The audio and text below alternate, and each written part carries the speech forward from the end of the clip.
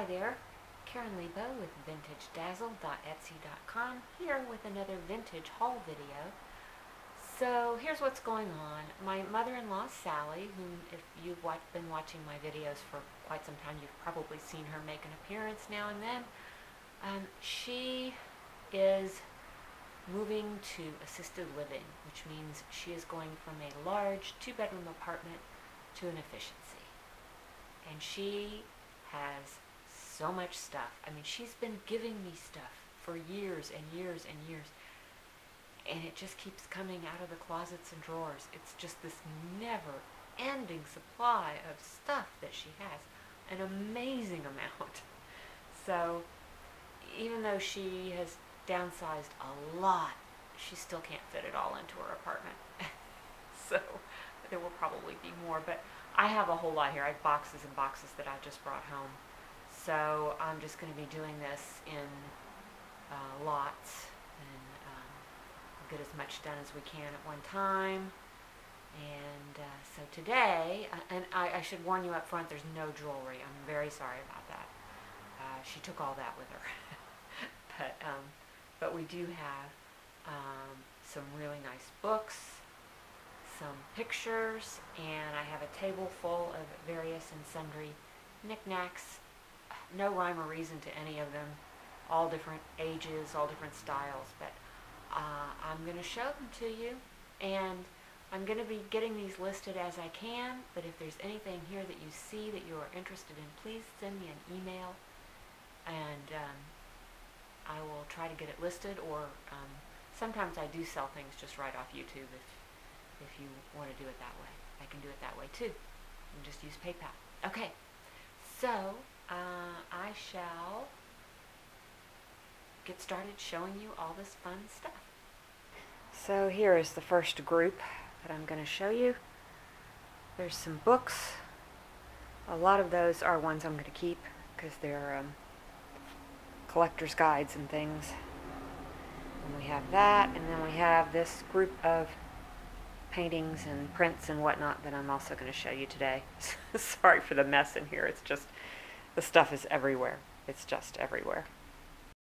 Okay, so I'll start with this funny little egg with a little boy and a bunny.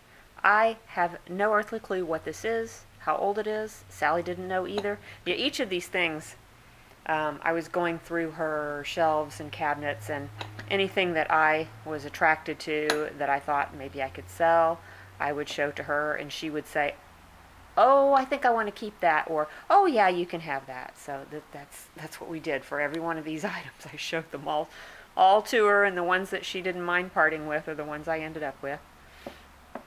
So yes, this is a little covered egg with a little uh, appears to be hand painted little boy. So I'll have to figure out what that is. And I haven't done research on any of this stuff, so um, this is, I believe this is basalt, maybe. Little carved uh, ducky. Looks like it might be Asian. And I think I have a few more of these little carvings somewhere, but they're not in this group today. Um, these are some old bells. Very pretty sound. They appear to be copper. Uh, you know, they look old, but I have no idea. They may just be like a reproduction or something.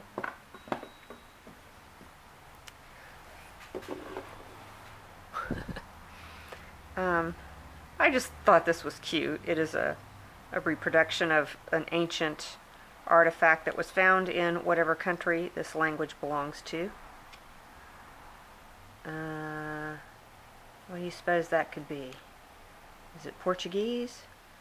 Probably showing my ignorance here. I don't know. I will find out though, but it's kind of cool. There were a lot of these sort of uh, very primitive um, little statuettes and things that look like ancient. And I, I, thought, you know, if it turns out that they're not worth a lot, I could put a group of them together because they're kind of cute. Okay, and these are some, I believe these are Danish, made in Denmark, yes uh, mid-century modern. They need a good scrub.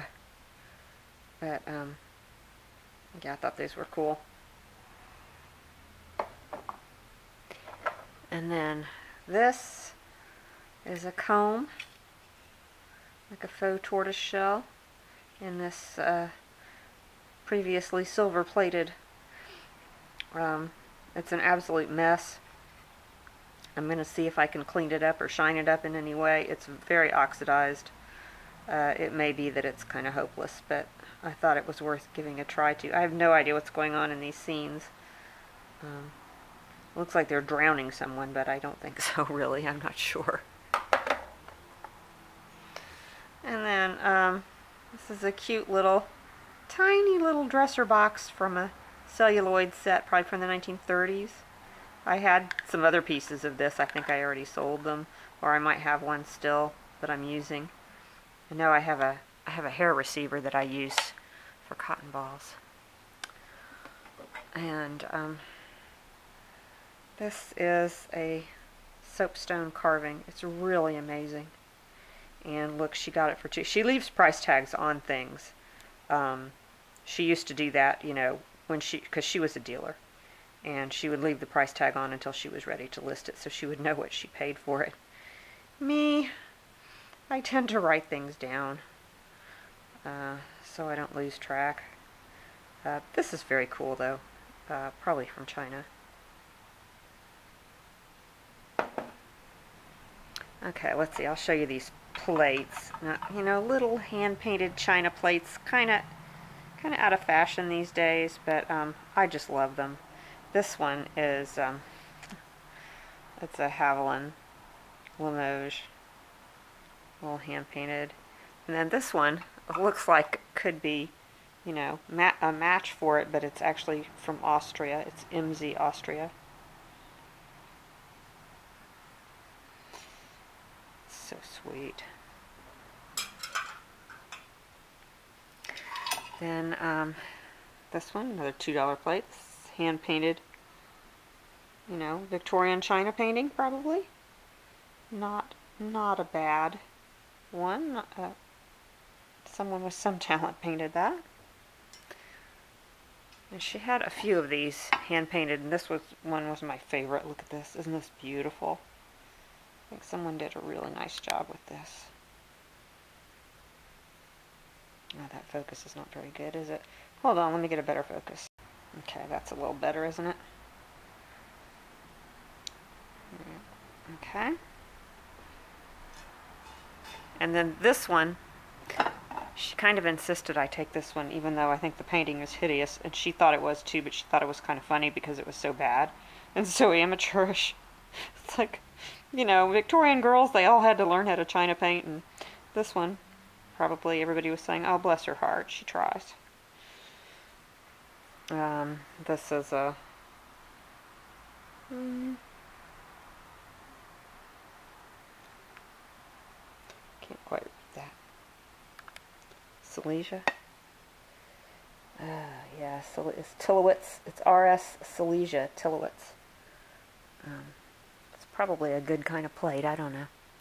And then uh, these are some California pottery. Uh, this is Parma. P-A-R-M-A, I think is what it is. I think that's what that says. Let's see. This one. I think that says Parma. It may be something else, but it's close to that. Um, Sally just couldn't resist any kind of California pottery. She loves the stuff. Uh, these are very nice. They're not, there's no brand on them, but they're marked made in California.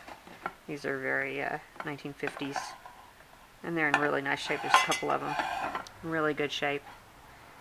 Um, don't don't know what I can sell those for. You know, some of this stuff I may end up donating it. I'm not sure what I'm going to do with all of it, but if I thought I uh, it was faster just to go ahead and take stuff and pack it rather than try to research it on the spot. So I did. Um, this is a silver-plated uh, martini pitcher with a stir. It's not in great shape. It's got a couple of places where the silver coating is scratched off. Um, but it is a nice picture, I will say that. These, I just, um, I'm going to turn them back into flower pots. Believe it or not, they were made into earrings. These were earrings. That's my crazy sister-in-law.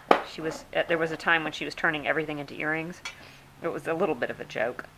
She was giving them as gifts to everyone. But anyway, those are going to be flower pots. I don't know where they were made, but they're cute. Okay, now these we have some Gypsy Witch fortune telling playing cards.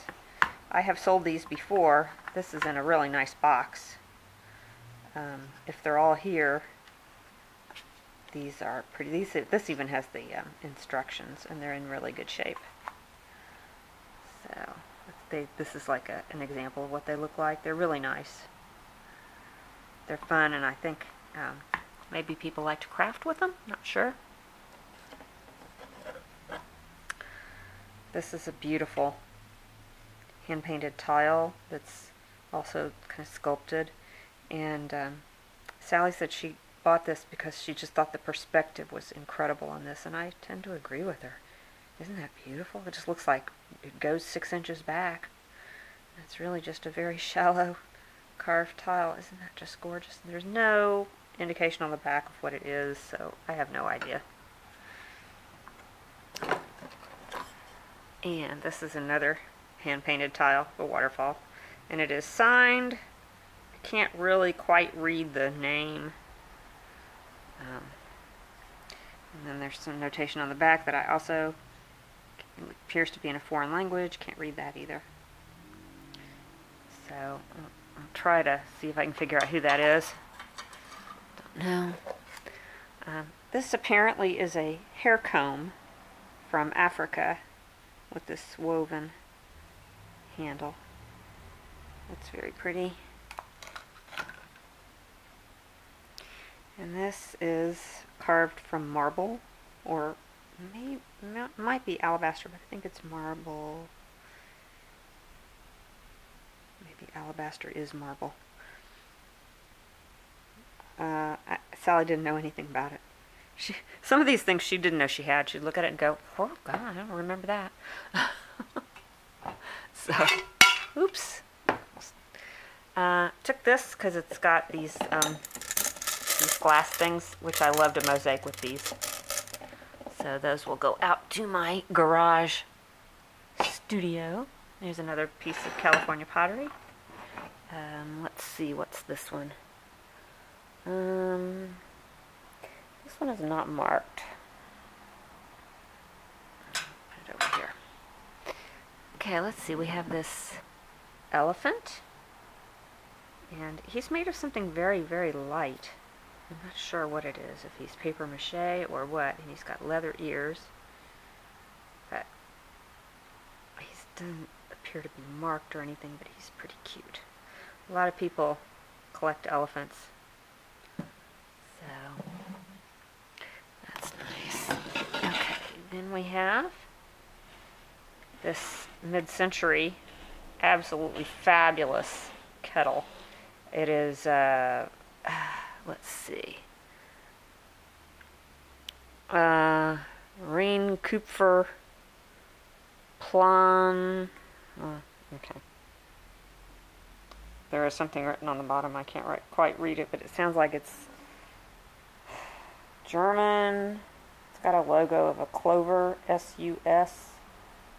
Uh, I, uh, I'm, I hope I'll be able to figure that out, but um, I'm figuring that's got to be valuable. She was using this as her kettle. She really liked it. okay, let's see. Um, I absolutely adore this. I may not be able to part with it. I don't even know what it is. It's angels riding horses. It's a relief carved. It's almost like it could be a bookend. It could be a bookend, it's just fabulous. Um, if I had to guess, I would say Guatemalan, but oh, I don't really know. That's just a guess. But oh, I love this. Isn't it beautiful? Oh, I may keep that. Okay. Let's move over here a little bit. We got some hand-painted animals from Mexico. Um, this one is signed Elpidio, Elpid, Elpidio Fabian. The kitty cat. And um, so, so there is a fairly well-known artist who is known for this style, and I believe this is him, Santiago Margarito Melchor, Melchior Santiago. This is, I guess, a coyote, maybe? Look at his little face. Isn't that cute? I have sold one of these, oops, one of these before, and I think it went for a pretty good amount of money. Um, and I think these other ones could be from his workshop, but perhaps not directly from him, one of his apprentices or something. Like there's a couple of deer. The deer, the two deer are not signed, but aren't?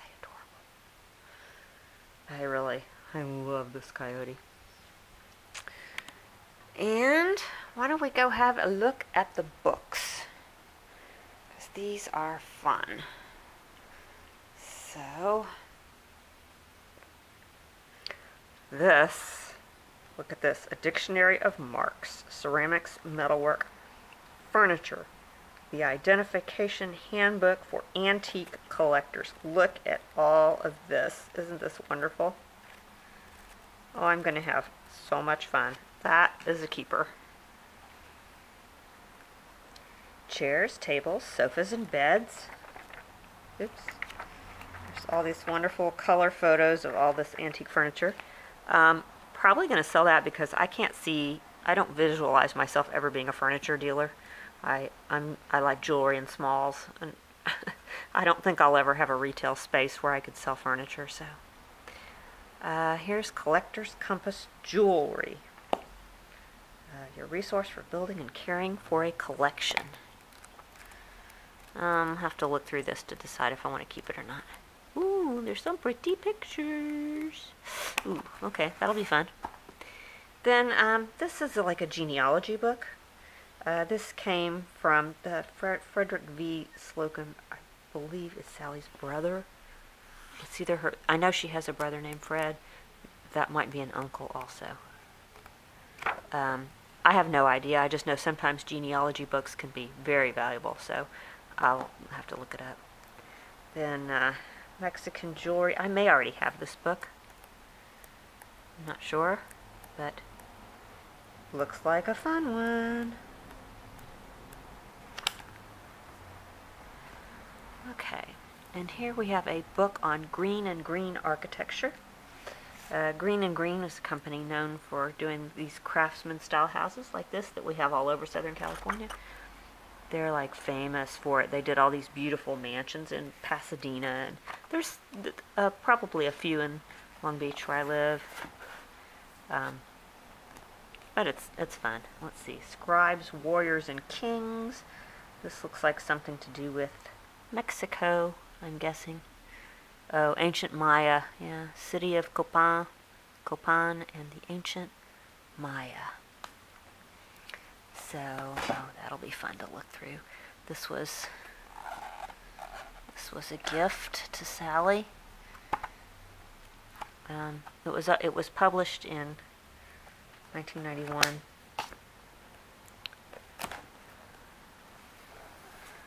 Okay, this is the family of man. Um, see if I can figure out what this is.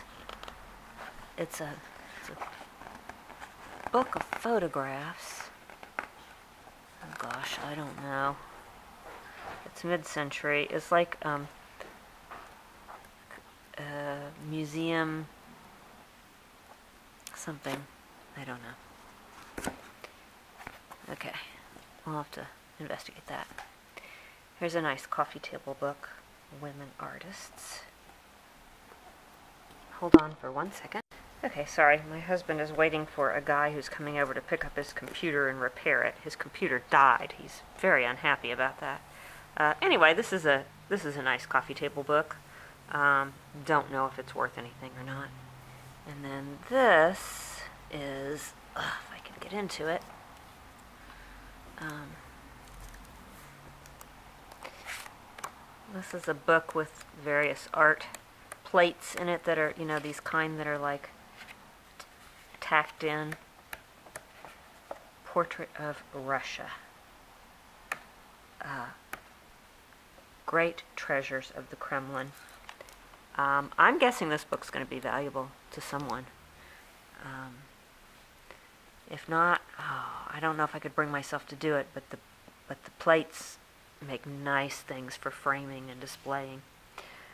Um, let's see, is that the last one on that? Nope, nope, one more. Okay, here's a The World of Goya. Oh, I think this is a Time Life book, so it's probably not worth anything. I don't know how I ended up with that. I probably wouldn't have taken it if I'd realized it was a Time Life book, but who knows? Okay. Uh, was encouraged to take this one by Sally. Harry Truman. It's like reproductions of letters and photos and stuff having to do with Harry Truman. So, I don't know, when was this published? Uh, this was published in 1982. Don't know. Okay, this is a cool book on Indian jewelry. Something that, that interests me a lot. I think that I've probably had, well, I've had a lot of cheap Indian jewelry, I think I've had a few nice pieces too that I didn't know what they were and probably sold them too cheap. Um, but anyway, there's some cool pictures in here, so that'll be nice to go through. Uh, American art pottery. So much to learn, so little time. Ooh, this will be fun. Um, yeah, there's. I see a lot of pottery at flea markets and garage sales, and you know, it would be helpful if I had a better eye for it. uh, Diego Rivera. This is kind of beat up, but looks like there's lots of nice reproductions in here of his paintings. Okay, collectible silver jewelry. Oh, I just sold, I mean, just like in the last couple of weeks, a pair of these flying geese pins. So, wow. I wonder if I sold them too cheap. I don't know. But, um, that will probably stay in my reference library. Um, Islamic art. Be fun to look at this. Ooh. Just never hurts to look at stuff and kind of get an eye for style. So if you see a piece of art or a print or something, you can have some prayer of guessing where it came from.